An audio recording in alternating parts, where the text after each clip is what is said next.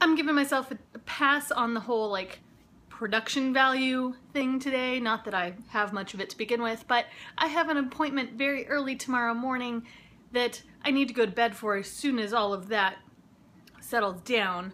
So let's talk about my Netflix series. Um,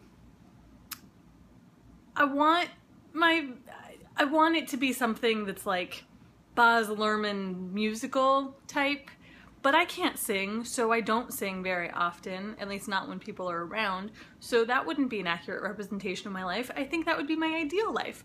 Instead, something like Will and Grace or The New, the New Girl, because I actually have moved into a house with three guys before, and um, I didn't date somebody that I lived with, but I dated somebody I practically lived with, um, in that house. And then another time I dated somebody who I lived just like half a block away from, whose name was Jake. And is that the guy's name?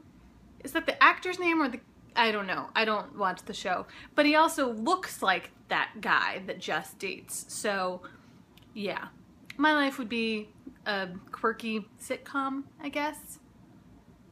Oh, I would really like it if it could be like pushing daisies without the dead people yeah. Tomorrow should be better. And hopefully I'll be in a great mood. Maybe I'll even be able to tell you about it.